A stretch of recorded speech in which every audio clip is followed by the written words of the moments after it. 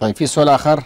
إيه السؤال الآخر إذا أرسلت لأحد رسالة بالجوال وأقسمت عليه إنه يجي وما جاء يعني هل علي كفارة يمين ولا ما؟ ولا طيب شكرا لك يا أخي الكريم. تفضل يا. شيخ.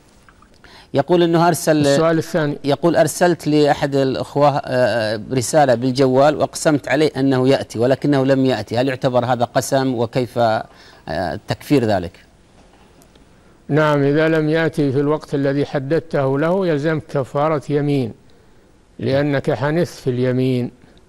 نعم.